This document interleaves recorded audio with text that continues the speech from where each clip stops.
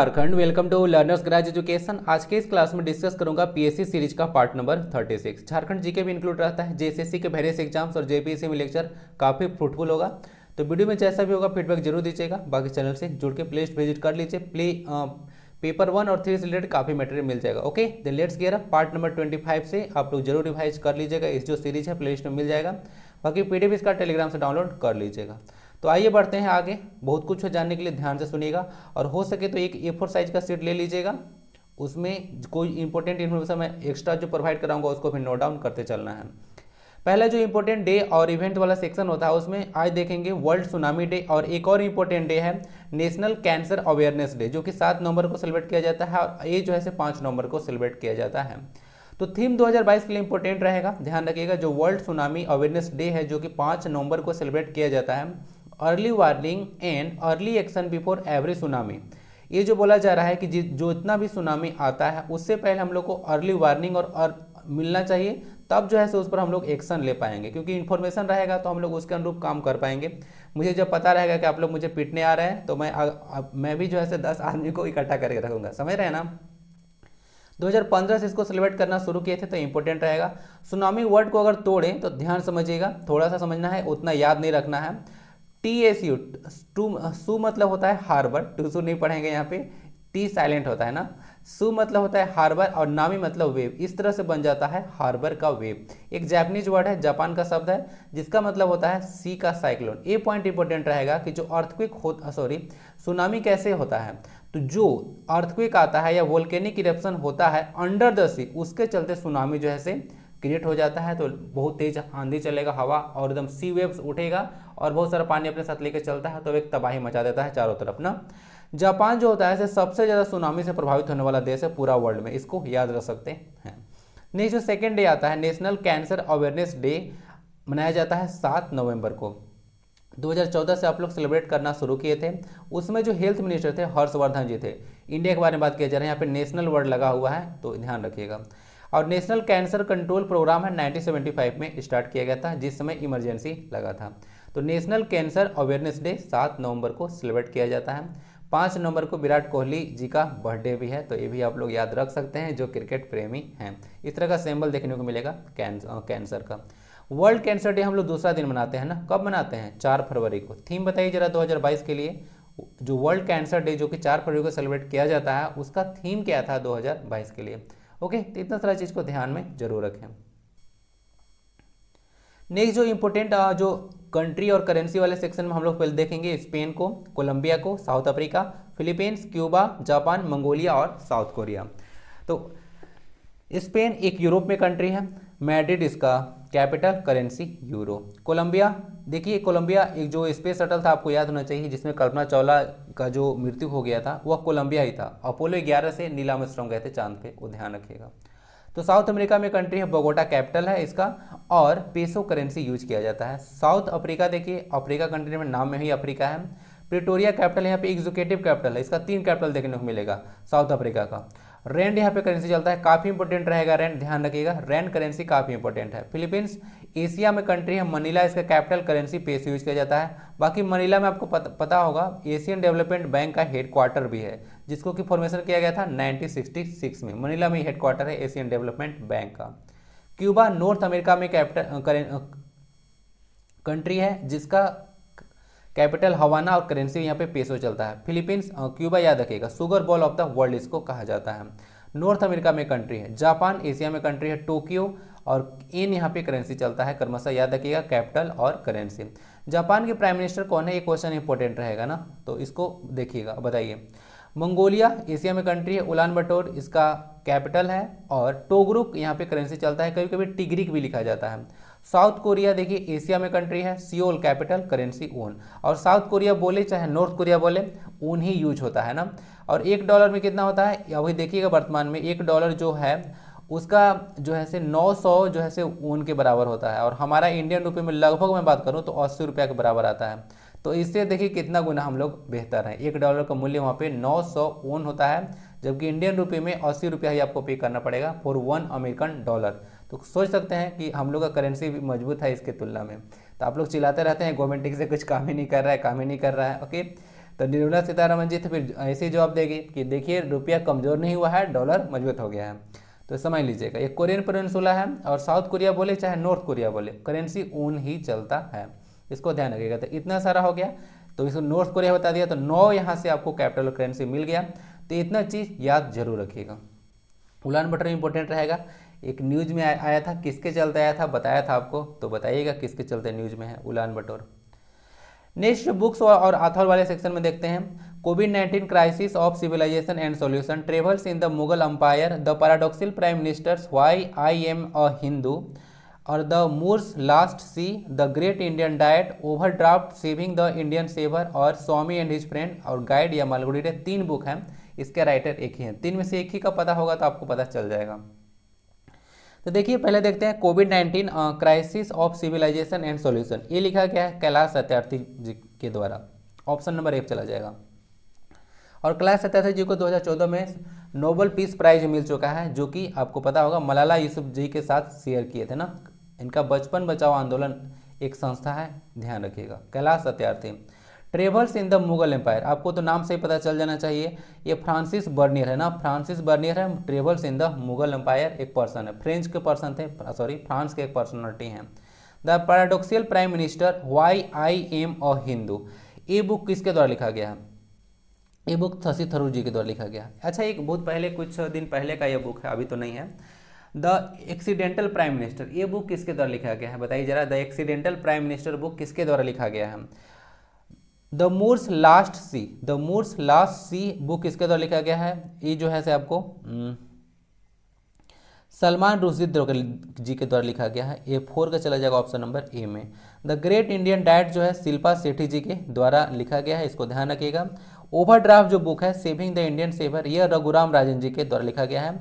तेईसवें गवर्नर थे ना भारत के तेईसवें गवर्नर थे, याद रखिएगा चौबीसवें गवर्नर आए थे आपके उर्जित पटेल और अभी शक्तिकांत दास पच्चीसवें गवर्नर हैं आरबीआई के, जो कि भारत का सेंट्रल बैंक है।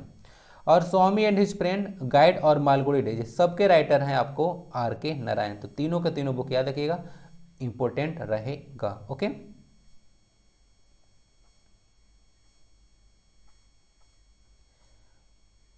देख लीजिए सारे यहाँ पे आंसर भी है। अब सेक्शन टू में हम लोग जनरल नॉलेज वाले सेक्शन को देखने वाले हैं अच्छे से तो ध्यान से सुनिएगा थोड़ा, बहुत कुछ सुन, जानने को मिलेगा। Tal Chhapar wild life sanctuary लिखा हुआ है। राजस्थान में है लोकेशन थोड़ा याद रखिएगा, हिंदी में नहीं है इंग्लिश में है। किसके लिए है? ब्लैक बक रैबिट्स के लिए, चिंकारा के लिए, फिर टाइगर के लिए। आंसर इसका ब्लैक बक हो जाएगा। तो ब्लैक बक इसको काला हिरन बोलते हैं। आपको सुने भी होंगे, जो सलमान खान को लेकर न्यूज़ में भी आया था, एक सब पता होना चाहिए। तो काला हिरन को लेकर था तो थाल चौपर वाइल्ड लाइफ सेंचुरी याद रखिएगा। ये कहाँ पे है? राजस्थान में। बाकी सरिस्का जो है, वो भी राजस्थान में है। सरिस्का टाइगर रिज़र्व, आपको याद होना चाहिए। और केवलाडियो नेशनल पार्क भी जो है यहाँ पे है, जो कि इसको भरतपुर बर्ड सेंचुरी के नाम से भी जाना जाता है। भरतपुर बर्ड सेंचुरी ना, ध्यान रखिएगा। ये जो ब्लैक बक है ये जो है लिस्ट कंसर्न आयुष जो देखिएगा आयुष का जो रेड लिस्ट है, उसमें यह लिस्ट कंसर्न में है, यानी कि उतना ज़्यादा चिंताजनक यह नहीं है। तो लिस्ट कंसर्न में आता है। बाकी मैं कुछ चीज़ बता देता हूँ, ध्यान रखिएगा, जो आपसे पूछ सकते हैं। जो इंडियन एलिफेंट है, जो कि आपका एलिफस मैक्सिमस है, वो जो है endanger category sorry vulnerable category में है। वन होन राइनो है, वो भी वनरेबल कैटेगरी में है। और अभी एक जो न्यूज़ में आया था राजस्थान का ही, जो स्टेट बर्ड है, क्या नाम है उसका? ग्रेट इंडियन बॉस्टर्ड जीआईबी तो ग्रेट इंडियन जो बॉस्टर्ड है ना, उसका जो आई स्टेटस होगा, वह इंपॉर्टेंट है, वह है आपका क्रिटिकली इंडेंजर्ड तो क्रिटिकली इंडेंजर कैटेगरी में आता है, इसको ध्यान रखिएगा। चलते हैं क्वेश्चन नंबर नेक्स्ट की ओर। देख लीजिएगा लिखा हुआ है, जो ब्लैक बक है, वो उसका जो है से लिस्ट कंसर्न में आता है यानी कि एलसी। बाकी great Indian bustard critically endangered है और वन हुन राइनो और इंडियन एलिफेंट है यानी कि एलिफस मैक्स में जो कि स्टेट एनिमल भी है झारखंड का दोनों वनरेबल कैटेगरी में आता है। और ये जो दिख रहा है वन हुन राइनो वह शेड्यूल वन के तहत प्रोटेक्टेड है और ये भी ब्लैक बग भी है शेड्यूल वन जो आ, इन जो आपको पता होगा वाइल्ड लाइफ प्रोटेक्शन एक्ट है नाइनटीन का उसके तहत शेड्यूल वन के तहत प्रोटेक्टेड है दोनों जीव ना? ब्लैक बग और वन होन राइनो। आसाम में काजीरंगा नेशनल पार्क काफ़ी फ़ेमस है, ध्यान रखिएगा, वन होन राइनो के लिए। अब कुछ मैगजीन है रिलेटेड पर्सन के बारे में यहाँ पे लिखा हुआ है। न्यू इंडिया है इंडियन ओपिनियन है, उसके बाद फ्री हिंदुस्तान है और हिंदुस्तान दैनिक है। क्या इसका होना चाहिए? देखिए, इसका होगा इन, जो न्यू इंडिया है, वह बिपिन चंद्रपाल जी के द्वारा शुरू किया गया था।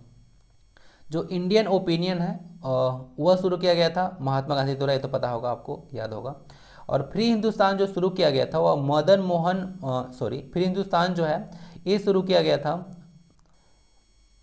तारकनाथ दास के द्वारा और हिंदुस्तान जो दैनिक था, वह शुरू किया गया था मदन मोहन मालवीय जी के द्वारा। तो आंसर इसका क्या हो जाएगा? वन का सी, टू का D, three A, four B. Answer number A हो जाएगा। इसको देख लीजिएगा। तीसरे से मैच कर लेना है। New India, Indian Opinion, Free Hindustan और हिंदुस्तान दैनिक। तो एक क्वेश्चन में आपका चार क्वेश्चन निकल कर आ गया। इस तरह से आपको कर लेना है। नेक्स्ट क्वेश्चन है as per the Har Ghar Tiranga Abhiyan, अभी आपको पता होगा आज़ादी का अमृत महोत्सव चल रहा है, यानी कि पचहत्तरवीं वर्षगांठ हम लोग मना रहे हैं। तो उसके तहत जो है से कुछ क्वेश्चन है। तो as per the Har Ghar Tiranga Abhiyan where can the national flag can be hoisted तो जो तिरंगा है, वह कहाँ कहाँ जो है से आप लोग फहरा सकते हैं ठीक है, अभियान के तहत। तो गवर्नमेंट बिल्डिंग्स ओनली उसके बाद है private offices only government buildings and private buildings only या फिर गवर्नमेंट बिल्डिंग्स प्राइवेट ऑफिसेस या फिर रेसिडेंट्स ओनली सब जगह आप लोग कर सकते हैं ना ओनली वर्ड तो यूज़ नहीं कर सकते हैं। सब जगह कर सकते हैं गवर्नमेंट बिल्डिंग हो प्राइवेट ऑफ़िस हो, या रेसिडेंट्स हो, वहाँ पर भी तिरंगा को फहराया जा सकता है। आज़ादी का अमृत महोत्सव आप लोग मना रहे हैं। उन्नीस सौ सैंतालीस से ऐड कीजिएगा तो कितना आ जाएगा? आ जाएगा आपका पचहत्तर साल ना 2022 में। तो इसके लेकर बहुत सारा प्रोग्राम भी चल रहा है। गवर्नमेंट का आपको पता होगा अवेयरनेस प्रोग्राम बहुत सारा चल रहा है। तो आप लोग को आइडिया होना चाहिए कि आज़ादी का हम लोग अमृत महोत्सव मना रहे हैं। और देखिए यहाँ पे जो 2021 का जो नया कोड आया है, जो मटेरियल यूज़ करने के लिए तिरंगा में, यानी कि पहले जो सब मटेरियल से आप लोग तिरंगा नहीं बना सकते थे। कुछ ही मटेरियल था जिससे तिरंगा बनाया जा सकता था। अब जो है किसको अलाउ किया गया है? कॉटन का आप लोग यूज़ कर सकते हैं बीटी कॉटन का भी। पॉलिस्टर सिल्क खादी का और उल का भी यूज़ किया जा सकता है। किसके लिए? तिरंगा बनाने के लिए, ना? तिरंगा जो डिज़ाइन किया गया था, आपको पता होना चाहिए। पिंगली वैंकैया के द्वारा किया गया था। थ्री इज़ टू टू का रेशियो होता है ना, इसको ध्यान रखिएगा। लेंथ टू ब्रेथ का रेशियो होता है। अगर एग्ज़ाम में ब्रेथ टू लेंथ अगर पूछ देंगे तो टू इज़ टू थ्री होगा। नॉर्मली क्या होता है ना, हम लोग पढ़ के जाते हैं length to breadth three to two और वहाँ पे ऑप्शन में होता है वहाँ से पूछ देता है ब्रेथ टू लेंथ का। और हम लोग थ्री टू टू लगा के आ जाते हैं तो गलत हो जाता है। तो क्वेश्चन को ध्यान से पढ़ना है लेंथ से ब्रेड पूछा है या ब्रेड से लेंथ इस सब पॉइंट इंपॉर्टेंट रहेगा। तो ये सब चीज़ ध्यान देना होता है एग्ज़ाम में। यही तो होता है एग्ज़ाम में। बाकी तो टैलेंट तो सबको ही होता है। नेक्स्ट क्वेश्चन कुछ स्पोर्ट्स का नेम है और उसमें ट्रॉफी दिया जाता है उसके लिए। गोल्फ है बास्केटबॉल है हॉकी है और वॉलीबॉल है। देखिए, इसमें ना मैच है। गोल्फ है से वाकर कप दिया जाता है, इसको ध्यान रखिएगा। इसमें एक राइडर कप भी होता है ना, ध्यान रखिए। बास्केटबॉल में विलियम्स कप दिया जाता है। हॉकी में इंदिरा गांधी गोल्ड कप है। और इंदिरा प्रधान ट्रॉफी वॉलीबॉल में दिया जाता है। ओके, बाकी बताया था वेलिंगटन ट्रॉफी, नौकायान में दिया जाता है। बहुत सारे ट्रॉफी आपको याद करना पड़ेगा। तो ये तो मैच है ना? आंसर इसका सी हो जाएगा। वन का ए, टू का बी, थ्री का सी और फोर का डी। ये मैच था। विलिंगटन ट्रॉफी नौकायान में दिया जाता है। राम निवास रुइया चैलेंज ट्रॉफी किस गेम में दिया जाता है? क्वेश्चन बताइए तो राम निवास रुइया चैलेंज ट्रॉफी किस गेम में दिया जाता है? क्वेश्चन फिफ्थ है which of the following living organism gives litmus litmus paper किससे बनाया जाता है? जनरल साइंस का क्वेश्चन है एसिड बेस एंड साल्ट से। Class ten chapter number second तो बताइए जरा प्रोटोजोआ से वायरस से लाइकेन से या फिर बैक्टीरिया से? आंसर इसका लाइकेन हो जाएगा। लाइकेन से जो है से लिटमस पेपर निकाला जाता है। एक, आप लोग पढ़े होंगे साइंस में एक चीज़ साइम्बायोटिक रिलेशनशिप तो जो लाइकेन दिखता है ना, इसमें एक जीव नहीं होता है। उसमें साइम्बायोटिक रिलेशनशिप होता है जिसमें अलगी प्लस फंगस मिला होता है ना। तो उससे मिलकर लाइकेन बनता है। इसी तरह से लिटमस पेपर बनाया जाता है। तो लिटमस पेपर आपको ब्लू देखने को मिलेगा और रेड ना, दो होता है। तो ब्लू लिटमस होता है रेड एसिड में डाला जाएगा ब्लू को तो रेड हो जाता है। ओके ना? एसिड में अगर ब्लू डाला जाता है तो रेड हो जाता है। ओके ये सब कुछ होता है। और अगर बेसिस बेस में डालेगा रेड तो ब्लू हो जाएगा। तीसरा कुछ कहानी होता है। और न्यूट्रल होता है तो उसमें कलर चेंज ही नहीं होता। पी एच वैल्यू जिसका सेवन आ जाए, उसमें कलर चेंज होता ही नहीं है। तो इसके बारे में याद रखिएगा, ये भी क्वेश्चन पूछ चुका है कि लाइकेन में कौन से दो जीव मिले होता है? तो अलगी होता है और फंगस हिंदी में अगर बताएँ तो अलगी मतलब होता है सवाल और फंगस मतलब होता है कवक। ठीक ना? तो भूलिएगा मत, इसको सवाल बोला जाता है। अरे भाई, पढ़े होंगे ना आप लोग? बीजीए ब्लू ग्रीन एलगे नील हरी सवाल वही सवाल है। तो याद रखिएगा, ये हो गया लाइकेन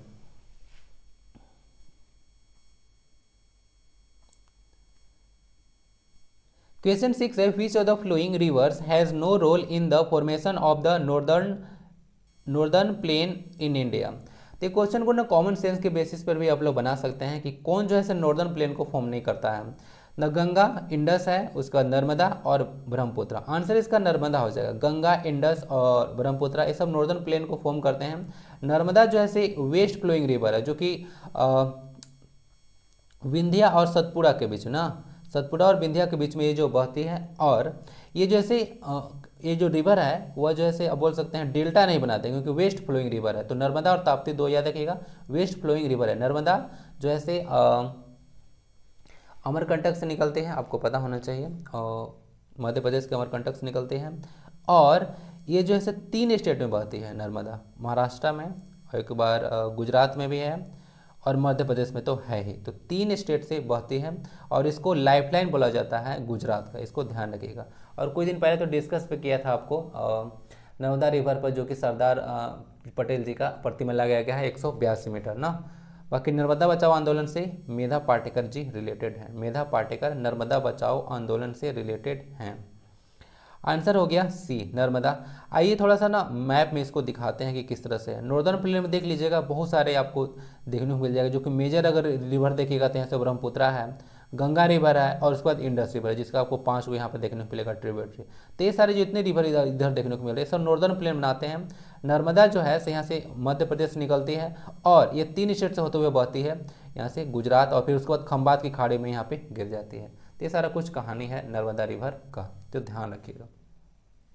और सरदार सरोवर डैम भी बनाया गया है, नर्मदा रिवर पर, ये भी याद रख सकते हैं। चलते हैं क्वेश्चन नंबर नेक्स्ट की ओर।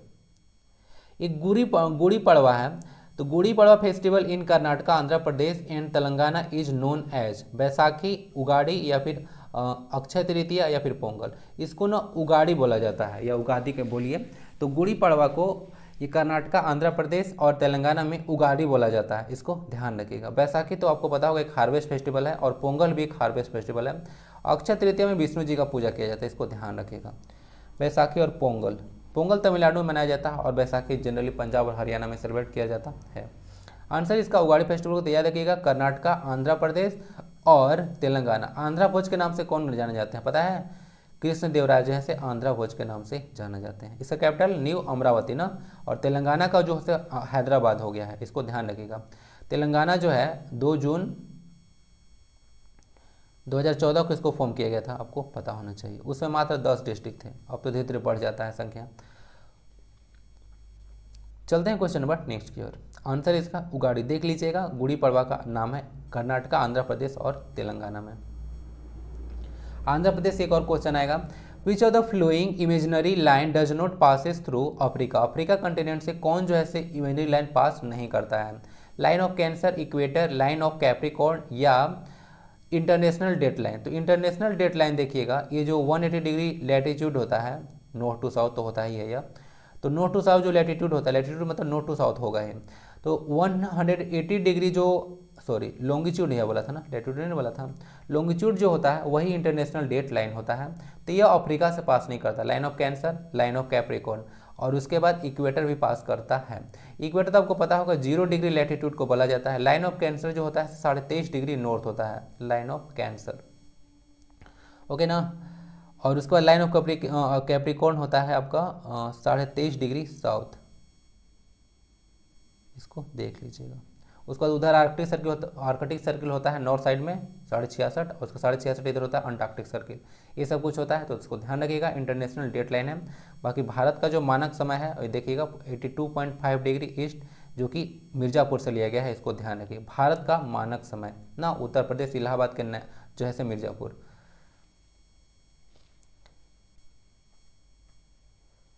क्वेश्चन नाइन है Indo China why the colony of जैसे आप लोग देखे होंगे इंडिया जो था, सब ब्रिटेन का कॉलोनी था, आपको पता होना चाहिए। तो उस तरह से इंडो चाइना किसका कॉलोनी था? तो आप लोग को लग रहा होगा इंडो चाइना में जो है से इंडिया है और चाइना है। इस तरह से कन्फ्यूज़न मत कन्फ्यूज़न मत रहिएगा। क्लास टेन का हिस्ट्री बुक उठाइएगा तो इंडो चाइना में साफ़ साफ़ लिखा हुआ है तीन कंट्री है। कौन कौन है? वियतनाम है लाओस है कम्बोडिया है। सारा का कैपिटल मैं ऑलरेडी प्रोवाइड करा चुका हूँ ना। चेकआउट कीजिएगा, मिल जाएगा। वियतनाम लाओस और कम्बोडिया सबका मैं कैपिटल करेंसी ऑलरेडी प्रोवाइड करा चुका हूँ। तो वो इंडो चाइना जो था सो फ्रांस का कॉलोनी था इसको ध्यान रखिएगा। फ्रांस का कॉलोनी था वहीं पे जहाँ पे आ, क्या है? जैसे कैपिटल पेरिस है बोलिएगा यूनेस्को का हेडक्वार्टर है वहाँ पे ईफिल टावर है और बहुत सारी चीज़ें हैं। चलते हैं तो इसको देख लीजिएगा फ्रांस का कॉलोनी था ना इन, इंडो चाइना उसके बाद जो वियतनाम ये सब जो था सो उसको 1945 में स्वतंत्रता मिला था। Which of the following was the mother tongue of Mughal court Mughal जो कोर्ट था, उसका मदर टंग यानी कि बोल सकते हैं कि मातृभाषा या आधिकारिक भाषा क्या था official language Persian Turkish Arabic या फिर हिंदी आंसर इसका हो जाएगा तुर्की तो तुर्की भाषा में सारा काम होता था, इसको ध्यान रखिएगा। तुर्की है पर्सियन नहीं, जबकि कुछ बुक्स है कन्फ्यूज़ कन्फ्यूज़न हो जाता है लोगों को। कुछ एक बुक जो है से पर्सियन में है। जैसे देखिएगा बाबर नामा है। ये लिखा गया है ऑटोबायोग्राफी यानी कि बाबर के द्वारा खुद लिखा गया है। यह तुर्की में है, भाषा में है। जबकि अकबरनामा है, जो कि अबुल फजर तो लिखा गया यह पर्सियन में है। तो इसको ध्यान रखिएगा। तुर्की जो ऑफिशियल लैंग्वेज था, उसी में बाबरनामा लिखा गया है। तो खुद लिखा गया था बाबर के द्वारा, क्योंकि अकबर तो आपको पता होगा, अनपढ़ थे, ना? तो ये मुगल डायनेस्टी के बारे में बात किया जा रहा है। तो मुगल डायनेस्टी का न्यू आपको पता होगा, पंद्रह में बाबर और इब्राहिम लोदी के बीच लड़ाई हुआ था, पानीपत का फ़र्स्ट वार जिसके तहत जैसे मुगल जो है, आया था पिक्चर में इंडिया में। इसको ध्यान रखिएगा। तो आंसर इसका टर्किस हो गया। बाकी फ़र्स्ट तीन चार बादशाह कम से कम याद रखिएगा बाबर आते हैं, हुमायूं, अकबर, जहांगीर, शाहजहां, औरंगज़ेब और सबसे लास्ट में बहादुर शाह ज़फ़र द्वितीय कहा जाता है ना? ध्यान रखिएगा। तो ये सब कुछ होता है। टर्किस इसका आंसर हो गया। चलते हैं कुछ हिंदी तो ऐसे ही कट जाएगा। कॉमन सेंस के बेसिस पे भी। Which of the following is known as the lighthouse of Mediterranean बोला जा रहा है कि इनमें से किसे भूमध्य सागर का प्रकाश स्तंभ कहा जाता है? इटना स्ट्राम्बोली उसके बाद लिखा हुआ वेसुवियस या फिर माउंट लोआ। आंसर इसका स्ट्राम्बोली हो जाएगा। यह इटली में एक देखने को मिलेगा ज्वालामुखी है तो उसी को जैसे भूमध्य सागर का प्रकाश स्तंभ कहा जाता है। इटना जो माउंट इटना इसको याद रखिएगा ये जैसे यूरोप का यूरोप का सबसे ऊँचा चोटी है ना? माउंट इटना जो है यूरोप का सबसे ऊँचा चोटी है इसको ध्यान रखिएगा। आंसर इसका स्ट्रॉम बोली हो गया। बाकी भूमध्य सागर के बारे में या, याद आ रहा है कुछ? इसे कुछ क्वेश्चन बताता हूँ। भूमध्य सागर होता है, यानी कि इसको मेडिटेरियन सी बोलते हैं, और एक रेड सी। ये दोनों के बीच को जो कनेक्ट करता है, उसका नाम है सुएज कैनल क्या नाम है? सुएज कैनल जिसको ओपन किया गया था 1869 में। इसमें ना कपाट सिस्टम नहीं, यानी कि लॉक सिस्टम इसमें नहीं रखा गया है। ठीक है? इसको ध्यान रखिए। क्योंकि गल्फ ऑफ़ जो सुएज है, और मेटेरियन सी के बीच का जो लेवल है ना वाटर का, वो जो है से लगभग बराबर है। इसीलिए इसमें लॉक सिस्टम नहीं लगाया गया है। और बाकी 1914 में आपको पता होना चाहिए, वो जो उन्नीस या फिर 16 होगा डेट, इसको थोड़ा सा देखना पड़ेगा, शायद 16 ही होगा। तो उस समय जो है से सुवेज कैनाल, उसके बाद पनामा कैनल को ओपन किया गया था, इसको ध्यान रखिएगा, जो कि अटलांटिक महासागर और प्रशांत महासागर को जोड़ता है ना, अटलांटिक ओशियन और पैसिफिक ओशियन को। चलते हैं क्वेश्चन नंबर नेक्स्ट की ओर।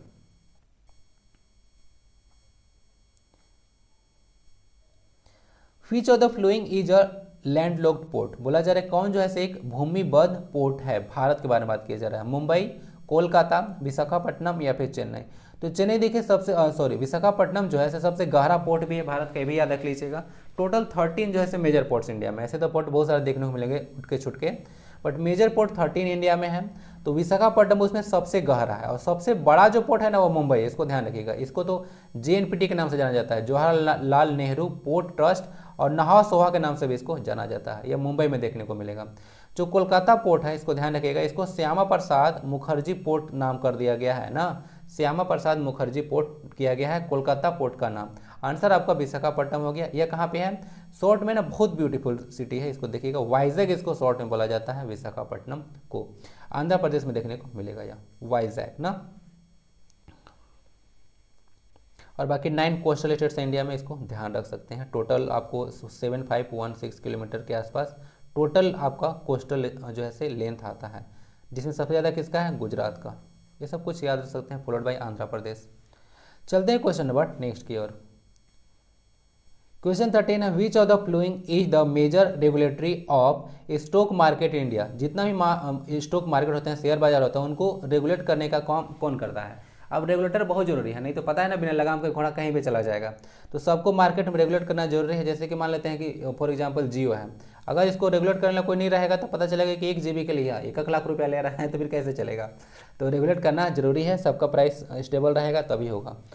तो इसको जो है से रेगुलेटर होता है, सेबी होता है security and exchange board of India तो देखिएगा security and exchange board of India ही है, से शेयर मार्केट को रेगुलेट करता है, इसको ध्यान रखिएगा। बाकी अठारह में याद है ना बॉम्बे स्टॉक एक्सचेंज अठारह सौ पचहत्तर में जिसमें बिरसा मुंडा जी का जन्म हुआ था उस समय जो है से बॉम्बे स्टॉक एक्सचेंज की स्थापना किया गया था ना, एशिया का सबसे पुराना स्टॉक एक्सचेंज है 1875 ओके? इसको ध्यान रखिएगा। ये सेबी है। अच्छा सेबी को फॉर्म किया गया था 12 जुलाई 1988 को। ये भी याद सकते हैं सेबी और एक चीज़ और बताता हूँ, जितना भी आप लोग देखते हैं, बीमा होता है इंश्योरेंस उसके लिए रेगुलेटर है आईआरडी है ना? Insurance regulatory regulatory and development authority यह जितना भी बीमा नियामक इसको बोला जाता है। भारत में सबसे बड़ी बीमा बीमा कंपनी है LIC ना, जिसको 1956 में फॉर्म किया गया था। इसको ध्यान रखते हैं। जिसमें यूजीसी को ही फॉर्म को भी फॉर्म किया गया था। The difference between total receipt and total expenditure जो थंबनेल में देखे थे तो उसको ना बजट डिफिसिट करना जाना जाता है। कहने का मतलब है कि आप लोग मान लेते हैं कि सौ रुपया कमाए और खर्चा कर दिए एक सौ बीस रुपया। तो यहाँ पे बीस रुपया डिफिसिट में आप चले गए तो यही बजट डिफिसिट होता है। आप लोग कमा, कमाए सौ रुपया, खर्चा हो गया एक सौ बीस तो बीस रुपया आपका बजट डिफिसिट हो गया ओके तो इसको बजट डिफिसिट बोला जाता है। Difference between total receipt and total expenditure okay ना? बजट जो शब्द है ना, हमारे संविधान में मेंशन नहीं है। ऐसा क्यों मैं बोल रहा हूँ? क्योंकि एनुअल फाइनेंशियल स्टेटमेंट जो है हमारा संविधान मेंशन है। इसके लिए बाकायदा आर्टिकल 112 बात करता है। 110 जो है मनी बिल के बारे में बात करता है। इसको ध्यान रखिएगा। बाकी बजट से रिलेटेड कुछ चीज़ अगर याद रखिएगा तो आप ही बताइए कि पहला बजट जो है प्रस्तुत कौन किए थे और फ़र्स्ट जो है फाइनेंस मिनिस्टर इंडिया के कौन थे? दो क्वेश्चन बताइए।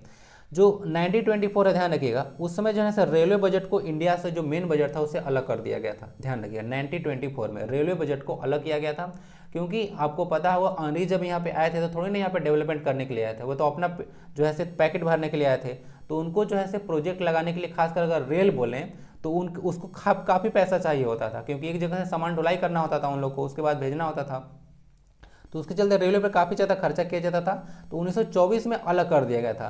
तो इतना 92 साल का प्रथा जो है ख़त्म किया गया 2017 में जाकर, ओके ना?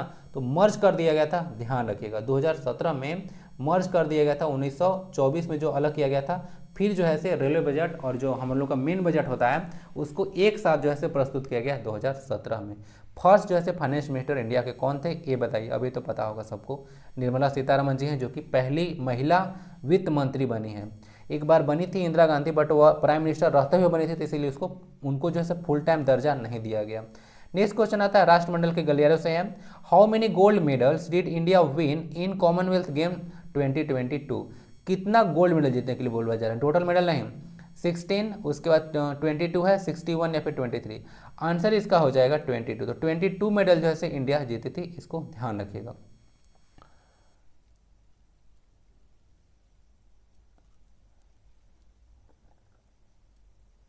और बाकी मैं गोल्ड सिल्वर और ब्रॉन्ज के बारे में बात करूँ तो देखिए सब गोल्ड तो हो गया बाईस, सिल्वर हो गया था सोलह, ना, और तेईस हो गया था ब्रॉन्ज। टोटल ऐड कर लीजिए, आ जाएगा सिक्सटी वन। ओके, आ जाएगा। तो यही टोटल सिक्सटी वन हो गया। तो कर्मशल लिखा हुआ है गोल्ड है सिल्वर है और ब्रॉन्ज है ना? तो इतना मेडल जीता गया था।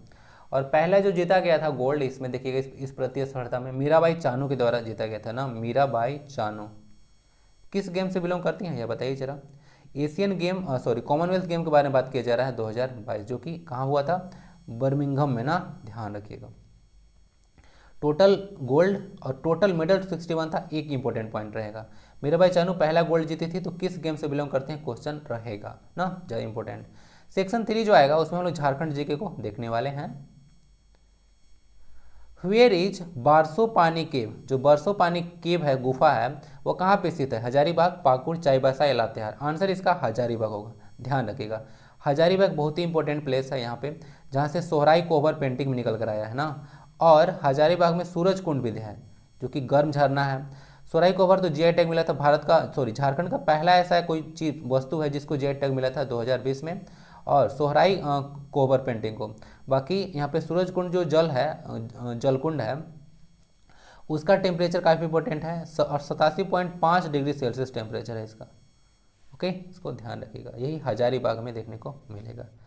और हजारीबाग में शहीद निर्मल महतो पार्क भी है ना? शहीद निर्मल महतो पार्क, ये भी हजारीबाग में ही है। इसको बोला जाता है लैंड ऑफ़ थाउज़ेंड कार्बन हज़ार मतलब क्या होता है? हज़ार अगर कोई बोलेगा तो उसका मतलब क्या होता है? एक हज़ार. बाघ मतलब क्या होता है? गार्डन तो लैंड ऑफ़ थाउज़ेंड गार्डन्स बोलेगा तो कन्फ्यूज़ मत कीजिए यही हजारीबाग ही है.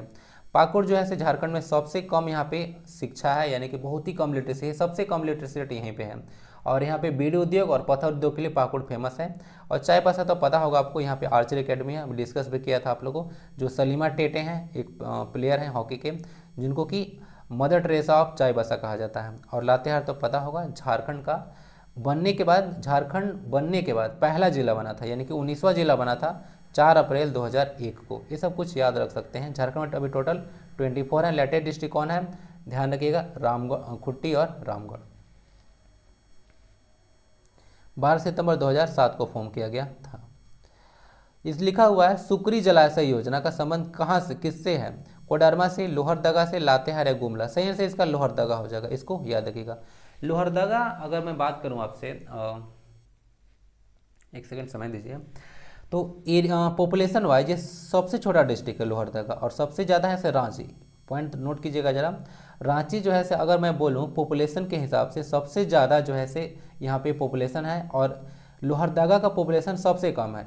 और अगर एरिया वाइज बात करें एरिया वाइज तो वेस्ट सिंहभूम डिस्ट्रिक्ट सबसे बड़ा है और रामगढ़ डिस्ट्रिक्ट सबसे छोटा है ना? रामगढ़ डिस्ट्रिक्ट सबसे छोटा है। इसको देख लीजिएगा एरिया वाइज और बाकी झारखंड जो है तो इसका एरिया कितना है पूरा भारत का? 2.42 परसेंट ना?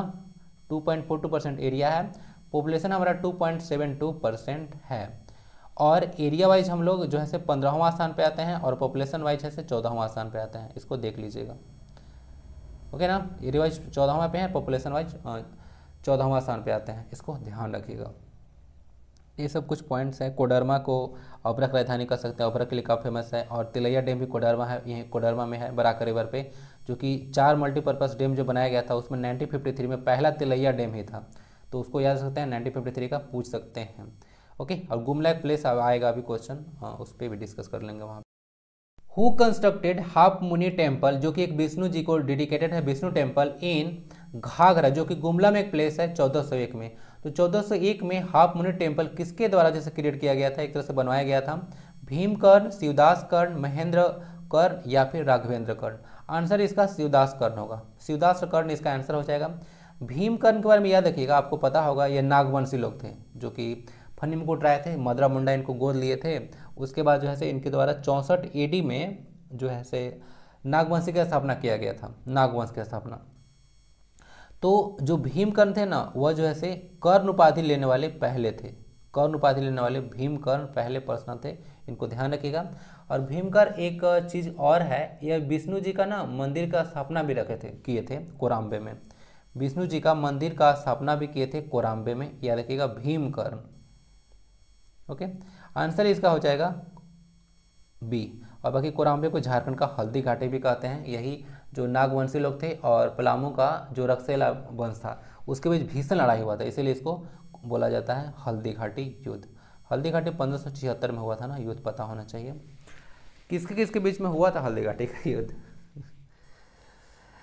क्वेश्चन जो है से फोर देखते हैं। Which is the most popular form of marriage in Kharia tribe तो खड़िया ट्राइब में सबसे जो पॉपुलर है विवाह का प्रकार वो है असल विवाह, ना? और इन लोग का जो जाति होता है, जनजाति एक तरह से बोलते हैं व्यवस्था जो होता है, वो बोला जाता है ढोकलो सोहर, ना? ध्यान रखिएगा, ढोकलो सोहर शासन व्यवस्था कहा जाता है। असल विवाह इन लोगों में प्रमुख जो है से विवाह विवाह का एक प्रकार होता है।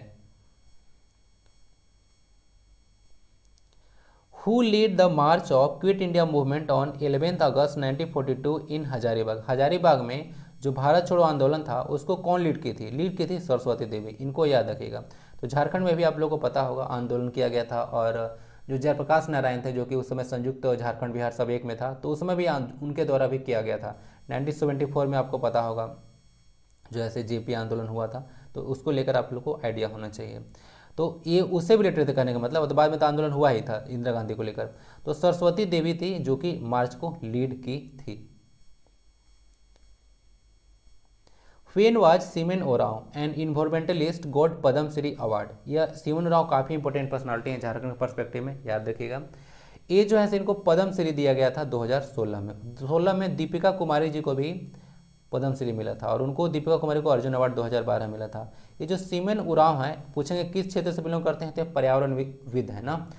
इनको जो है भारत में वाटरमैन के नाम से जाना जाता है। Waterman of Jharkhand. बाकी वाटरमैन ऑफ़ इंडिया किसको बोला जाता है? राजेंद्र सिंह जी को। डॉल्फिन मैन ऑफ़ इंडिया किनको बोला जाता है? यह बोला जाता है आर के सिंह जी को। माउंटेन मैन दशरथ मान जी को बोला जाता है। सब कुछ ध्यान रख सकते हैं। आंसर इसका 2016 हो गया ना। ये क्वेश्चन आप लोग को टेलीग्राम पे भी मैं पहले डाल दिया था तो ध्यान से देखिए क्वेश्चन इसमें ज़्यादा टाइम पास नहीं करेंगे, ज़्यादा रटना नहीं है आप लोग को किस किस पॉइंट को रटना है मैं बताऊँगा थोड़ा बहुत आइडिया होना चाहिए। यहाँ पे नाइबरिंग स्टेट्स है झारखंड का और बॉर्डर डिस्ट्रिक्ट है झारखंड, यानी कि झारखंड में कितने ज़िले, पाँच टोटल जो है से स्टेट झारखंड के सीमा से टच करते हैं। तो झारखंड के कितने ऐसे ज़िले हैं जो अलग अलग स्टेट को टच करते हैं? बोला जरा बिहार के, बिहार से दस जिला है झारखंड का टच करता है, वेस्ट बंगाल का दस जिला टच कर, वेस्ट बंगाल से झारखंड का दस जिला टच करता है। उड़ीसा से झारखंड का चार जिला टच करता है और छत्तीसगढ़ से झारखंड का चार जिला टच करता है और उत्तर प्रदेश से बोला जा रहा है दो जिला टच करता है झारखंड का। यही पॉइंट जो है से गड़बड़ है, यानी कि पांचवा जो है से वो गलत है। क्यों? क्योंकि उत्तर प्रदेश से गढ़वा और पलामू ने सिर्फ़ और सिर्फ़ गढ़वा जो है से टच करता है तो इसका आंसर एक होगा ना? तो ध्यान रखिएगा। तो उत्तर प्रदेश से एकमात्र ऐसा जिला है झारखंड का जो टच करता है, वह है गढ़वा, यहीं से है। अगर देखिएगा उत्तर प्रदेश का लोकेशन तो नॉर्थ वेस्ट में पड़ता है। तो नॉर्थ वेस्ट यहाँ से अगर बनाइएगा तो इस तरह से जाता है। तो यहाँ पे जो है सिर्फ़ और सिर्फ़ गढ़वाई डिस्ट्रिक्ट पड़ता है, जो कि उत्तर प्रदेश की सीमा से लगता है। तो इसको ध्यान रखिएगा। बाकी मैं कुछ और पॉइंट में यहाँ पे ऐड करना चाहूँगा, जो कि आप लोगों को ध्यान रखना चाहिए। यहाँ पे देख लीजिए लोकेशन देख लीजिए खुट्टी है और एक लोहरदगा, दो डिस्ट्रिक्ट क्या दो जो डिस्ट्रिक्ट आपको दिख रहा है, किसी के साथ जो है किसी भी अदर स्टेट के साथ सीमा साझा कर रहा है तो सब बोल सकते हैं कि लैंड लोक डिस्ट्रिक्ट है। क्या है? लैंड लोक डिस्ट्रिक्ट है। कोई भी किसी के साथ जो है सीमा साझा नहीं कर रहा है। बाकी कोई भी डिस्ट्रिक्ट उठा कर देख लीजिएगा 24 में जितना भी 22 के 22 डिस्ट्रिक्ट है, सब किसी न किसी स्टेट के साथ सीमा साझा करते नज़र आएँगे एक्सेप्ट खूंटी एंड लोहरदगा। तो दो ऐसे डिस्ट्रिक्ट रांची भी टच करता है, इसको देख लीजिएगा। कुछ मैप देखिएगा, उसमें रांची आपको पता नहीं चलेगा बट अच्छा वाला मैप देखिएगा तो उससे पता चल जाएगा कि रांची टच करता है इधर बॉर्डर ना। तो लोहरदगा और खूंटी, दो डिस्ट्रिक्ट किसी के साथ सीमा साझा नहीं करते हैं। गढ़वा एकमात्र डिस्ट्रिक्ट है, जो कि सीमा साझा करता है उत्तर प्रदेश के साथ। तो ये पॉइंट इंपॉर्टेंट बनता है और ये जो बताया लोहरदगा, खूंटी, ये भी इंपॉर्टेंट बनता है। झारखंड का पूरब से पश्चिम का लेंथ ज़्यादा है ना तो ये हो जाता है फोर सिक्स थ्री मीटर एक किलोमीटर किलोमीटर। और उत्तर से दक्षिण लेंथ कम है तो होता है तीन सौ अस्सी किलोमीटर ना, तीन सौ अस्सी किलोमीटर। इसको ध्यान रखिएगा इतना पॉइंट चतुर्भुजाकार इसका देखने को मिलेगा आकृति झारखंड का। नॉर्दर्न हेमिस्फेयर में पड़ता है। The first railway line of Jharkhand was constructed between तो फ़र्स्ट जो रेलवे लाइन था झारखंड में वह कहाँ हुआ था? राजमहल से पटना या फिर राजमहल to Ranchi, Rajmahal to Kolkata या फिर राजमहल टू बिलासपुर? बिलासपुर छत्तीसगढ़ में देखने को मिलेगा। तो राजमहल से जो है से कोलकाता के बीच में है, ये बनाया गया था झारखंड में पहला रेलवे लाइन आइए थोड़ा सा लेके चलते हैं, यहाँ पे मैं डायरेक्ट इसको सर्च कर रहा था गूगल पे तो ये निकल के आया था कि after three years of delays in 1849 the EIC मतलब होता है East India company finally allowed the East Indian railway company to build an experimental line from Calcutta to Rajmahal. यही हमारा था आंसर ना, जो कि झारखंड पड़ेगा और लेंथ ऑफ़ हंड्रेड माइल्स। तो हंड्रेड माइल्स होगा, जनरली अगर माइल्स को किलोमीटर में कन्वर्ट करना होगा तो 1.6 से मल्टीप्लाई कर दीजिएगा। 1.6 से मल्टीप्लाई करना होता है, क्योंकि एक माइल में 1.6 किलोमीटर होता है नॉर्मली। वो जो नॉटिकल माइल होता है, वो अलग होता है। समुद्री में जो नॉटिकल माइल चलता है, वो अलग होता है। 1.852 किलोमीटर होता है उसमें वन नॉटिकल माइल में। नॉर्मली बोल सकते हैं 1.8 तो नॉर्मल अगर यहाँ पे हम लोग जो मेजर करेंगे 1.6 सही करेंगे तो इसको मल्टीप्लाई कर लीजिएगा, किलोमीटर में कन्वर्ट हो जाएगा ओके तो 100 माइल जो है से बनाना था। तो कितना आ जाएगा? कन्वर्ट कीजिएगा तो 160 किलोमीटर आएगा। तो इतना लंबा जो है लाइन बनाया गया था, जो कि कलकत्ता से लेकर राजमहल के बीच में था। ये राजमहल झारखंड के साहेबगंज में वर्तमान देखने को मिलेगा, जो कि सौरिया पहाड़िया और माल पहाड़ियों का निवास स्थान है। और राजमहल में आपको काली मिट्टी पाया जाता है। ऐसे काली मिट्टी झारखंड सबसे ज़्यादा मिट्टी जो है झारखंड में कौन है? तो काली मिट्टी ही ये सब याद रखिएगा। साहेबगंज डिस्ट्रिक्ट ना। आंसर तो मिल गया होगा, राजमहल टू कोलकाता। चलते हैं क्वेश्चन नंबर नेक्स्ट की ओर। नेक्स्ट क्वेश्चन लिखा हुआ है, गुमरो और एरो। तो गुमरो और एरो किसकी सहायक नदियाँ हैं? अजय का, अमानत का, फल्गु का या ब्राह्मणी का? आंसर इसका डी हो जाएगा ब्राह्मणी रिवर। तो ये ब्राह्मणी की सहायक नदी है और ब्राह्मणी रिवर जो है, से यहाँ पे दुमका से निकलते हैं ना, इसको ध्यान रखिएगा। दुमका,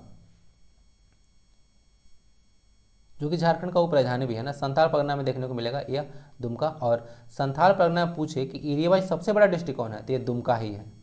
ओके? दुमका ही सबसे बड़ा डिस्ट्रिक्ट है संथाल परगना में। संथाल परगना में टोटल कितने डिस्ट्रिक्ट हैं? मैं कोशिश करूँगा अगला क्लास जो आएगा ना, इसे मैं पहले भी डिस्कस कर चुका हूँ, उसमें जो है से मैं अब की बार जितने भी परगना है, उसको ले लूँगा कि एक परगना में कितने डिस्ट्रिक्ट है। नेक्स्ट पार्ट में ज़रूर ऐड कर दिया जाएगा, जो भी पी एस सीरीज़ का नेक्स्ट पार्ट आएगा उसमें।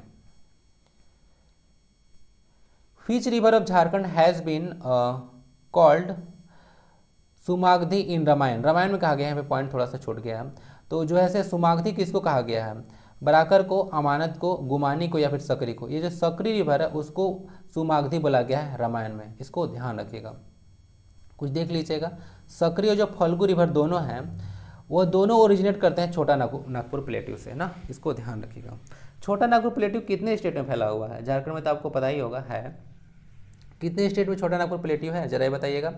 और फल्गु रिवर को निरंजन भी बोला गया। इसका जो मुख्य धारा है, उसको निरंजन या लीलांजन के नाम से भी जाना जाता है ना, फल्गु रिवर।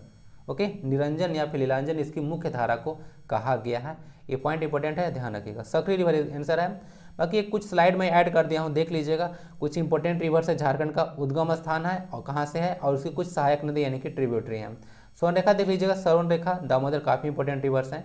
तो सोनरेखा नगड़ी विलेज से निकलते हैं रांची से, करकरी, कांची और खरकरी रिवर इसके सहायक हैं। ओके ना? दामोदर छोटा नागपुर पठार से निकलते हैं, पलामू से इंपॉर्टेंट है। कोनार, बोकारो, बराकर, जमुनिया, ये सब इसके सहायक है ना? बोकारो रिवर भी है, ऐसे मत बोलिएगा डिस्ट्रिक्ट है, एक रिवर भी है। पुनपुन नदी, पलामू से निकलती है। ब्यूटेन है ना? यानी कि सी सिक्स एच फोर्टीन इतना होगा? नहीं। सी फोर एच टेन होगा ब्यूटेन का। ब्यूटेन में चार होता है। उसके बाद मदार है, फिर मोरहर है। तो ए इसकी सहायक नदी है। उत्तरी कोयल है से नेतरहाट लातेहार से निकलती है। औरंगा और अमानत इसकी सहायक नदी है। दक्षिणी कोयल है लावा पानी जल प्रपात लोहरदगा से निकलती है। कारो और कोयना इसकी सहायक नदी है। म्यूराक्षी जिसको मोर नदी के नाम से भी जाना जाता है। त्रिकुट पहाड़ी देवघर से निकलती है। ब्राह्मणी, द्वारका, को, कोपई और बरकेश्वर इसकी सहायक नदियाँ हैं। तो ये सब कुछ पॉइंट याद रखें। Who is known as the father of Jharkhand movement तो झारखंड जो मूवमेंट थे झारखंड आंदोलन उसके पिता कौन कहे जाते हैं? जस्टिन रिचर्ड फादर कामिल बोल के जे बाथोल बार्थोलमन और फिर या फिर बिरसा मुंडा। आंसर इसका सी हो जाएगा। जे जो बार्थलमन थे वही झारखंड आंदोलन के जमदाता यानी कि फादर कहे जाते हैं। जस्टिन रिचर्ड जो है से काफ़ी इंपॉर्टेंट पर्सनालिटी हैं। ये जो है से आपको पता होना चाहिए। आ, एक पार्टी गठन किए थे झारखंड। लिखते लिखते याद आ गया। पहले याद नहीं आ रहा था। ऐसे ही होता है, बीच में ना भूल जाता हूँ। यूनाइटेड झारखंड पार्टी का गठन किया था 1948 में, इसको ध्यान रखिएगा। 1948 में यूनाइटेड झारखंड पार्टी का गठन किए थे। और आपको पता होगा 1938 का क्या था? 1938 का आदिवासी महासभा था, जो कि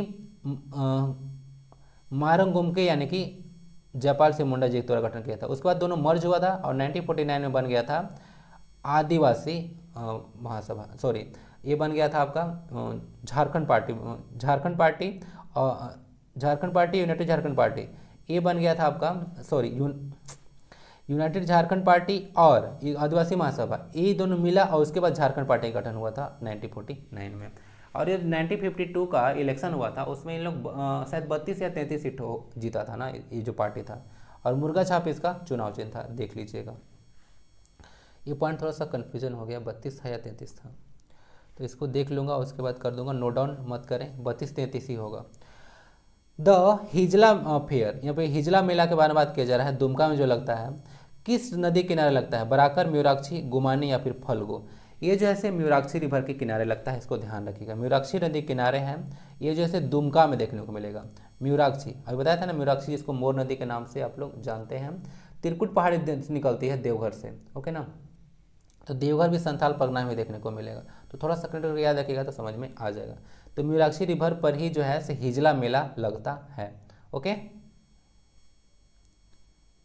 अब सेक्शन फोर में हम लोग जेपीसी कॉर्नर से कुछ क्वेश्चन देखते हैं। आइए 2016 का, ये जो है से मेंस का क्वेश्चन है ना? सॉरी 2016 का पीटी का पेपर टू है। मेंस बोला गया। पेपर टू का क्वेश्चन है। अब ये खत्म होने वाला है 2016 का। अब कुछ और पीछे चलेंगे हम लोग।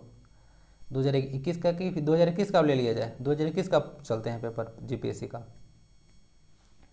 Jharkhand state Ganga river conservation authority is constituted in the year. तो जो Jharkhand state Ganga river conservation है, वह किस साल जो है से बनाया गया था अथॉरिटी आठ में, दस में, नौ में या फिर 2011 में? आंसर इसका नौ में होगा। जिस समय झारखंड में पहली बार जो है राष्ट्रपति शासन लगा था, उसी समय जो है Jharkhand state Ganga river conservation authority बनाया गया था। फ़र्स्ट टाइम जो है झारखंड में लगा था राष्ट्रपति शासन 19 जनवरी 2009 को। इतना ही था ना? नहीं था। देख लीजिएगा तो 2009 इसका आंसर हो गया। चलते हैं क्वेश्चन नंबर नेक्स्ट की ओर।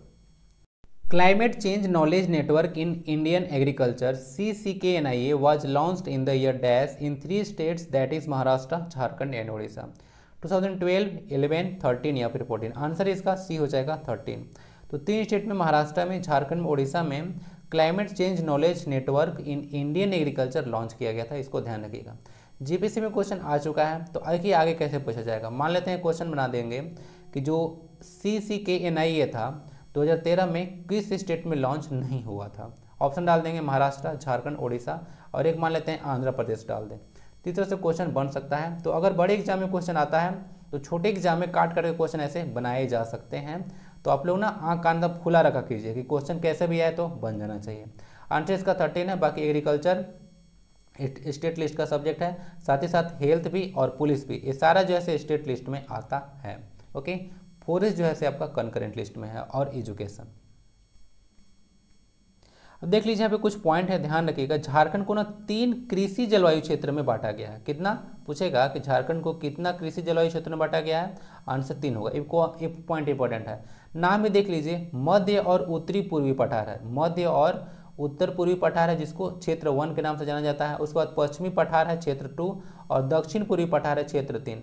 यहाँ पे जो मध्य और उत्तर पूर्वी पठार है, क्षेत्र वन, उसमें उष्ण कटिबंधीय मानसून पाया जाता है। और जो पश्चिमी पठार है, क्षेत्र टू, और दक्षिणी पूर्वी पठार है, क्षेत्र तीन, उसमें उपोष्ण कटिबंधीय मानसून पाया जाता है। और झारखंड में प्रमुख ऋतु वर्षा गर्मी, शरद और शीत और बसंत देखने को मिलेगा। Okay? Jharkhand state majorly falls under dash climate region climatic region या फिर ना ट्रॉपिकल मानसून देखने को मिलेगा जलवायु। तो उष्ण कटिबंधीय मानसून यानी कि ट्रॉपिकल मानसून देखने को मिलता है झारखंड स्टेट में। इसको ध्यान रखिए। अच्छा क्वेश्चन है जो सोरिया रोबस्टा ट्री है, सोरिया रोबस्टा, वह किस तरह का पौधा है? आप लोग ये बताइए, किस प्रकार का पौधा है?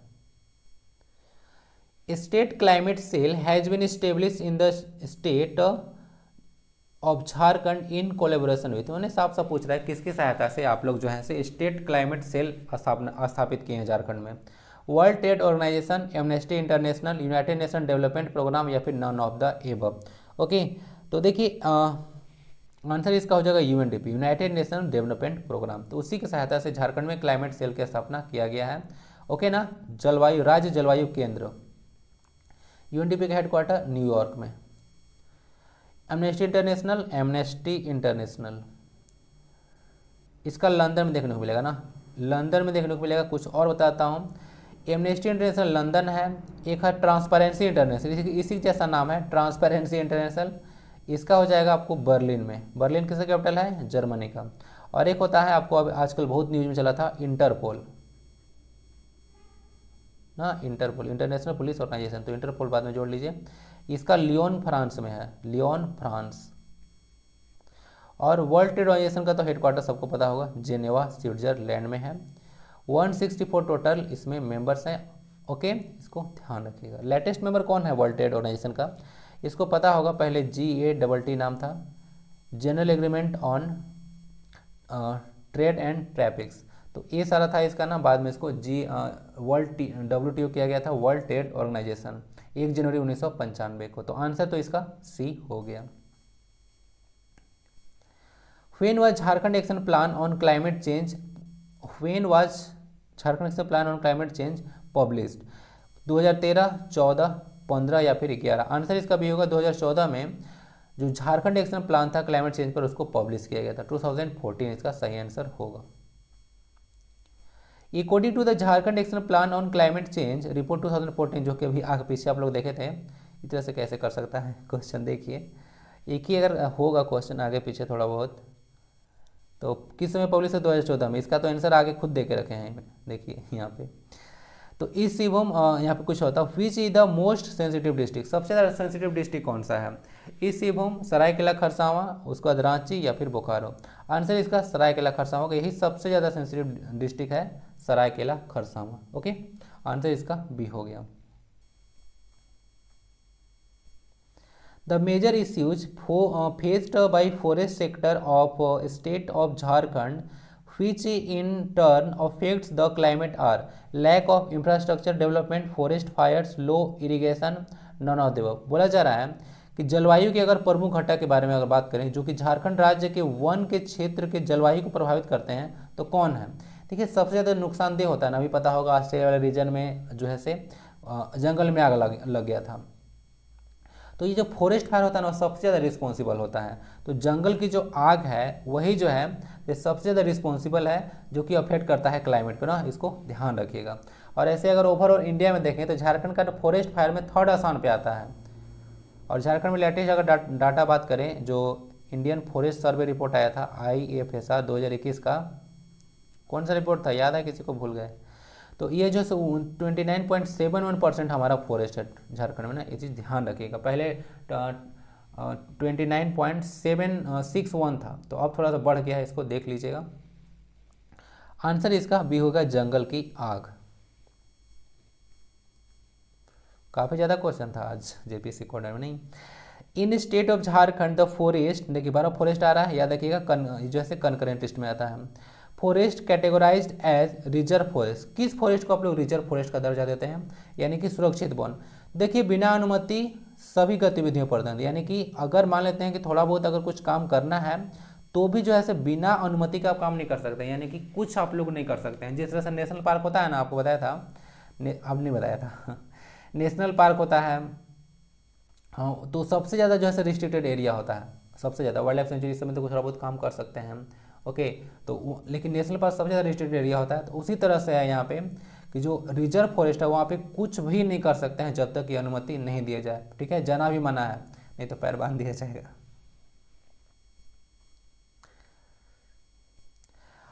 How many different climatic regions are present in state of Jharkhand as per the N I D M तो तो अभी बताया था कि जो डिफरेंट जो क्लाइमेटिक रीजन है झारखंड में, जलवायु क्षेत्र, वह तीन जलवायु क्षेत्र में बांटा गया था। ओके तो एक्स्ट्रा इन्फॉर्मेशन था तो देखिए आंसर मिल गया नेक्स्ट क्वेश्चन का। सेक्शन फाइव में अब करंट अफेयर देखेंगे। और करंट अफेयर ना अच्छा अच्छे लेवल का है, ध्यान से सुनिएगा। ये जो करंट अफेयर होता है वह सिर्फ़ करंट अफेयर नहीं होता है ना, एक बैलेंस डाइट की तरह इसको यूज़ कर सकते हैं आप लोग। क्योंकि इसमें जो है से कुछ जो है से इंपॉर्टेंट क्वेश्चन होता है करंट का, और साथ ही साथ स्टेटिक का भी पर्सन होता है। जैसे देख लीजिए गवर्नर जो है तमिलनाडु के कौन है? यह है आर एन रवि जी। ये क्वेश्चन इंपॉर्टेंट बनेगा। गवर्नर जो है तमिलनाडु के कौन है? Are N Ravi. इजराइल के जो प्रधानमंत्री हैं, बेंजामिन नेतन्याहू उसको उनका पार्टी का नेम है लिक्विड पार्टी ना? ये ध्यान रखिएगा। अभी नहीं है। हो सकता है बन जाए। अभी टुमटुवस चल रहा है वहाँ पे। कहाँ पे है? इजराइल के है ना? ध्यान रखिएगा। इजराइल। सेकल करेंसी यूज़ किया जाता है इजराइल में। कैपिटल कहाँ पे है? जेरूसलम। ये भी बता देता हूँ। Air India has fully bought Air Asia India 16.3 percent air इसमें देखिए, इसको ना पूरी तरह से खरीद लिया है, जो एयर एशिया इंडिया था, ये जो है से एक ना मलेशिया का एविएशन ग्रुप का कंपनी है तो उसको पूरी तरह से जो है से एयर इंडिया इसको खरीद लिया है, इसको ध्यान रखिएगा। एयर इंडिया का स्थापना 1932 में किया गया था ना, ये पॉइंट इंपॉर्टेंट बनेगा, अंदर में जाकर पूछें तो। और भारत में पहली बार जो है से जो हवाई यात्रा शुरू किया गया था, वह उन्नीस सौ ग्यारह में शुरू हुआ था। डी एम एच एलेवन इसको देखिए धारा मस्टर्ड हाइब्रिड एलेवन इसका फुल फॉर्म इंपॉर्टेंट है। यहाँ पे ना इन्वायरमेंटल क्लियरेंस इसको मिल चुका है as a new GM crop ना इसको ध्यान रखिएगा। पहला जीएम क्रॉप कौन था? जीएम होता है ना genetically modified crop BT cotton का नाम सुने होंगे आप लोग। तो ये डीएमएच का फुल फॉर्म पूछेगा, आपको देगा डीएमएच एलिमेंट किसका वैरायटी है? तो ये मस्टर्ड यानी कि सरसों का एक वैरायटी है, इसको याद रखिएगा। ओके ना? GM crop the current PM of Denmark. Denmark का जो है से अभी जो पीएम है, कौन है? तो उनका नाम है मेटे, उसके बाद फ्रेडरिक सन्ना, नाम याद रखिएगा। डेनमार्क का कैपिटल हो गया कोपनहेगन और करेंसी यहाँ पे डेनमार्क है ना यहाँ पे डेनमार्क में क्रोन चलता है। इसको ध्यान रखिएगा। केस लेके crown. The bay of pigs invasion. एक पॉइंट सिर्फ़ याद रखिएगा, ज़्यादा डिटेल में इसको डिस्कस नहीं करूँगा। जो बे ऑफ़ पिक्स इन्वेशन था वह क्यूबा से रिलेटेड है, जो कि 1961 का है।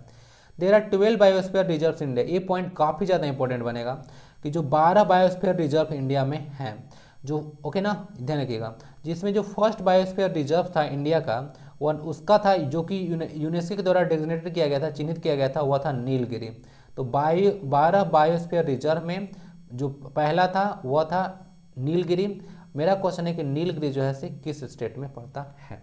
ओके ये बताइएगा। नंबर तीन, ये भी इंपॉर्टेंट क्वेश्चन है। Will now be celebrated as international day for the biosphere reserve 2022 तो 2022 में ऐसे घोषणा हुआ था कि तीन नवंबर से जो है से इसको बायोस्फीयर रिज़र्व अब जो है से इंटरनेशनल डे जो है से मनाया जाएगा इस तरह का। ओके ना? बाकी अभी मैं बताया था कि 2021 में सात अगस्त था जो कि अभी जो मेरे माइंड में है, बता रहा हूँ, अब जेवलिन डे मनाया जाएगा। और बाकी 2021 से ही जो है से आपको बताया था जो जनजातीय गौरव दिवस मनाया जा रहा है। जनजातीय गौरव दिवस मनाया जा रहा है। बिरसा मुंडा जी का बर्थडे पंद्रह नवंबर को पड़ता है। देख लीजिएगा। और ये अभी अभी दूसरा बार मनाया जाएगा। अभी हाल ही में आने वाला है। आठ तारीख को आज मैं डिस्कस कर रहा हूँ। उसके बाद हो गया तक सेल्फ एम्प्लॉयड वुमेन्स एसोसिएशन जिसको सेवा के नाम से जाना जाता है। 1972 में इसको फॉर्म किया गया था। ये जो जिनके द्वारा ये फाउंड किया गया था कि एन है नॉन गवर्नमेंटल ऑर्गेनाइजेशन उनका नाम था इलेवन भट्ट। तो वह गांधीन फिलोसफर है ध्यान रखिएगा। अब जैसे देहांत हो गया इनका तो इंपॉर्टेंट है पूछेंगे कि जो सेवा है वो उसका फाउंडर कौन है? तो नाम है इलेवन भट्ट कब फाउंड किया गया था? 1972 में। सेल्फ एम्प्लॉयड वुमेन थे ध्यान रखिएगा। सेल्फ एम्प्लॉयमेंट वुमेन एसोसिएशन सेवा इसका नाम है। ठीक है ना? अभी ध्यान इनका हो गया है तो न्यूज़ में आया था। Next Virat Kohli the run machine आ गया। देख ली देख लीजिए। इनका ना एक रिकॉर्ड है। आ, क्या रिकॉर्ड है सुनिए? Virat Kohli became the highest run scorer in T20 world cup history surpassing the former Sri Lankan legend Mahela Jayawardene तो जो महिला जयवर्धन थे 1016 रन बनाए थे, इकतीस पारी में। अब विराट कोहली जैसे तेईस पारी में जो है पार कर गए उनको। पास समझ में आ रहा है? अभी अभी कारनामे किए थे बांग्लादेश के खिलाफ। तो यह देखिए क्वेश्चन पूछेंगे कितना इनिंग पास किए, क्योंकि क्वेश्चन ऐसे पूछते हैं, कितना इनिंग पास किए? मतलब वो जो है रिकॉर्ड को ब्रेक किया गया। तो तेईसवां इनिंग में ही रिकॉर्ड को ब्रेक कर दिया गया। किसके खिलाफ किए थे रिकॉर्ड ब्रेक तो वो बांग्लादेश के खिलाफ खेल रहे थे। तो इंडिया तो लगातार चार गो टीम को धो दिया, आपको पता होना चाहिए। ओके? तो अब देखिए सेमीफाइनल होने वाला है तो आगे क्या होता है? The only transgenic crop grown in India is BT cotton तो बीटी कॉटन जो है ओनली ट्रांसजेनिक एक क्रोप है। ट्रांसजेनिक क्रोप क्या होता है? बताइए जरा। नेक्स्ट वीडियो में डिस्कस करूँगा। अमूर फाल्कन फेस्टिवल याद रखिएगा सेलिब्रेट किया जाता है नागालैंड में ना? नागालैंड में एक और फेस्टिवल सेलिब्रेट किया जाता है, जिसको आप लोग हॉर्नबिल फेस्टिवल के नाम से जाने जाते हैं। हॉर्नबिल कहाँ कहाँ का स्टेट बर्ड है? अरुणाचल प्रदेश और केरला का। तो एक माइग्रेटरी बर्ब है, बर्ड है, जो कि स्टॉप ओवर यहाँ पे रुकता है आकर, उस समय जो है फेस्टिवल सेलिब्रेट किया जाता है। इसको बोला जाता है कि जो लॉन्गेस्ट ट्रेवलिंग माइग्रेटरी बर्ड है ना, जो नाम है उसका अमूर फाल्कन। तो वहाँ से फेस्टिवल सेलिब्रेट किया जाता है। बाकी मोहम्मद आरिफ जो है, से एक कॉन्विक्ट थे रेड फोर्ट अटैक जो 2000 में हुआ था, उनको डेथ सेंटेंस जो है से अवार्ड किया गया है। तो अभी पटिशन डाल रहे थे बट बोला कि नहीं भाई, ऐसा आप नहीं कर सकते हैं। सुप्रीम कोर्ट वाला कि जो है से अब इतना नहीं करेंगे, आप तो हमको जैसे डेथ देना ही पड़ेगा। तो इस तरह से कुछ कहानी था। तो मोहम्मद आरिफ पर्सन है। रेड फोर्ट अटैक 2000 का केस से रिलेटेड है। एक ने एक दवा है, देख लीजिएगा। Core A U N P S ना? इसका नाम देखिएगा है कोर्डी गोल्ड नैनो पार्टिकल्स तो एक नैनो पार्टिकल्स है जो कि इन्वेंट किया गया है इंडियन साइंटिस्ट के द्वारा और इसको पेटेंट कराया गया है जर्मनी में। तो क्वेश्चन इंपॉर्टेंट बनेगा खासकर इसका फुल फॉर्म इंपॉर्टेंट है। Core A U N P S का फुल फॉर्म तो जर्मनी में इसको पेटेंट करा किया किया गया है। इसका फ़ंक्शन क्या होगा कि ये जो है ब्लड में ड्रग डिलीवरी यानी कोई दवा लेते हैं तो उसको जल्दी से जल्दी से आपको मूव करा देगा। इसको ध्यान रखिएगा, यानी कि सब जगहों पर पहुँचा देगा। माउंट किलोमंजारो के बारे में देखिएगा हाईएस्ट पिक है अफ्रीका का। ओके ना? अभी माउंट इतना बताया था आपको इतना यूरोप का highest peak Mount Kilimanjaro Africa का है, इसको ध्यान रखिएगा। और एशिया का तो पता ही है आपको। कौन? एवरेस्ट। तो देख लीजिएगा सपोर्ट फ्रॉम डेडली फायर। तो यहाँ पे फायर लगते रहता है, ज्वालामुखी है तो। पीएम जो है यहाँ पे कसीम माजालीवा है ना, इसको ध्यान रखिएगा। Majaliwa, PM Kassim Majaliwa. तो ऐसा नाम है, थोड़ा इंडस्ट्री टाइप का तो इसको देख लीजिएगा। हाइट भी यहाँ पे लिखा हुआ है, जो पिक है माउंट किलीमंजारो का। और बाकी एक न्यूज़ निकल कर रहा है चाइना से। तो पीपल रिपब्लिक ऑफ़ जो चाइना है, उसको एक पार्टी का नाम है, जिसमें आप लोग पता होगा सी जिनपिंग है। तो माओ जेदोंग के द्वारा इसको फाउंड किया गया था एक अक्टूबर दो उन्नीस को। तो अभी बोला जा रहा है कि जो दो आएगा, वो कितना आएगा? सौ साल यह पूरा कर लेगा, ओके ना? तो सौवा जो है से फाउंडेशन डे मनाया जाएगा इसका, ओके? तो इसको देख लीजिएगा, न्यूज़ में आ रहा है। और बाकी आप लोग चाइना को अगले साल जो है से जनसंख्या के मामले में छोड़ देने वाले हैं, ठीक है? तो आदि पुरुष का डायरेक्टर काफ़ी कंट्रोवर्शियल मूवी हो चुका है, आपको पता होगा, बहुत न्यूज़ में आ चुका है। ओम राउत के द्वारा डायरेक्ट किया गया है। इसका अलग अलग कलाकार तो आपको पता होगा, रावण कौन है, राम कौन है, सीता कौन है, सब। जुडिशियल डाइवोर्स जो होता है, मुस्लिम पर्सनल लॉ में, उसको ना, इसको फस्क कहा जाता है। तो फस्क किसको बोला जाता है? जो जुडिशियल डाइवोर्स होता है, यानी कि जो कानूनी तौर पर जो डाइवोर्स होता है, मुस्लिम पर्सनल लॉ में तो उसको फस्क कहा जाता है। एक देख लीजिएगा यहाँ पे, पोथा राजुलू, एक परंपरा है जो कि बोनालू फेस्टिवल का एक पार्ट है तेलंगाना में। इसमें क्या होता है ना कि वीपिंग वन सब यानी खुद को सजा दिया जाता है। तो कैसा होगा? आप लोग अगर सुबह से उठकर पढ़ाई नहीं करते हैं तो अपने आप को जो है शाम को ना चार थप्पड़ मारिए। अगला दिन से टाइम से उठ जाइएगा। तीसरा होता है, खुद का जो सेल्फ पनिशमेंट होता है ना काफ़ी आपको फ़ायदा करेगा। तो सेल्फ पनिशमेंट आप लोग दिया कीजिए। ठीक है कि आज पढ़ाई नहीं किया तो आज खाना नहीं खाऊँगा। तीसरा पनिशमेंट करना शुरू कीजिए इंप्रूवमेंट होगा काम में। उसके बाद जो मथुरा वृंदावन टूरिस्ट डेस्टिनेशन है उसको जो है एम किया जा रहा है कि इसको नेट ज़ीरो कार्बन इमिशन करना है 2041 तक। तो काफ़ी इंपॉर्टेंट बनेगा कि दो टारगेट कब है। तो मथुरा वृंदावन एक टूरिस्ट डेस्टिनेशन है। उसको 2021 तक इसको नेट ज़ीरो कार्बन इमिशन करना है। करने मतलब सब चीज़ यहाँ पे ना देखिएगा सोलर से चलाया जाएगा। ओके या और कुछ यूज़ किया जाएगा बट यहाँ पे आ, कुछ कोयला या पेट्रोलियम जैसा चीज़ यूज़ नहीं किया जाएगा जहाँ से कार्बन का मिशन हो। तो वही होता है नेट कार्बन ज़ीरो और इंडिया का टारगेट 2070 तक ऐसे नेट कार्बन ज़ीरो करने का। है ना? इसको ध्यान रखिएगा। आर्टिकल 142 क्या कहता है? इंडियन जो कॉन्स्टिट्यूशन है, उसका आर्टिकल 142 कहता है, यह डिस्क्रेशनरी जो पावर देता है सुप्रीम कोर्ट को, यानी कि जो विवेक, जो विवेकाधिकार होता है सुप्रीम कोर्ट का, उसके बारे में बात करता है आर्टिकल 143 ना? इसको देख लीजिएगा। अच्छा आर्टिकल 143 जो है से वो काफ़ी ज़्यादा इंपॉर्टेंट है, इसको बताइएगा। वन आप लोग आई लव यू बोलती भी बोलते हैं। तो वन फोर थ्री आर्टिकल किसके बारे में बात किया जाता है? इसको बताइएगा। एक बैदू सेटेलाइट है तो ये जो है से आपको नेविगेशन सिस्टम है चाइना का बैदो और यहाँ पे इसको याद रखिएगा, ये चाइना का जीपीएस है। जैसे हमारा नाविक है ना, बताया था आपको नाविक, ओके? उसी तरह से जो है आई आर एन एस बताया था आपको, उसी तरह से चाइना का बैदू चलता है। एक पैरासूट हेयर पर न्यूज़ आ रहा था कि जो पैरासूट हेयर ऑयल जो ब्रांड होता है कंपनी उसको मैरिको जो है से बनाता है। कह सकते हैं थोड़ा बहुत। फ़र्स्ट जो वर्ल्ड इसको इरेज करता हूँ। जो फ़र्स्ट वर्ल्ड आर्टिस्टिक जिम्नास्टिक हुआ था, वह हुआ था अंतवर्प में ना बेल्जियम उन्नीस सौ तीन में। तो जिम्नास्टिक से रिलेटेड एक, यहाँ से बोल सकते हैं इवेंट है स्पोर्ट का। तो first world Asia artistic gymnastic जो हुआ था अर्ट वेब में हुआ था बेल्जियम में। कैपिटल और करेंसी लिखी, जितने भी आएँगे कंट्री न्यूज़ में, वो जो है से आपको अगले दिन मिल जाने वाला है। यानी कि जो नेक्स्ट पार्ट आएगा पी सीरीज़ का उसमें डाल दिया जाएगा। मूरी देख लीजिएगा are the indigenous people of New Zealand तो जिस तरह से अलग अलग जगह के आप लोग को इंडिजिनस पीपल बताया था, कहीं का आप लोग बताया था मावरी है मूरी नहीं है शायद मावरी है। पहली बार मैं भी देख रहा हूँ इस तरह का जनजाति। तो जैसे रोहिंग्या बताया था उसके बाद उइगुर मुस्लिम बताया था सिंघाला बताया था। उस तरह से मावरी याद रखिएगा, ये इंडिजिनस पीपल है न्यूजीलैंड के। उसके बाद पोर्ट प्लेयर का जो एयरपोर्ट है उसका नाम वीर सावरकर के नाम पर रखा गया याद है ना आपको? भूल गए। पोर्ट ब्लेयर अंडमान और निकोबार का कैपिटल है।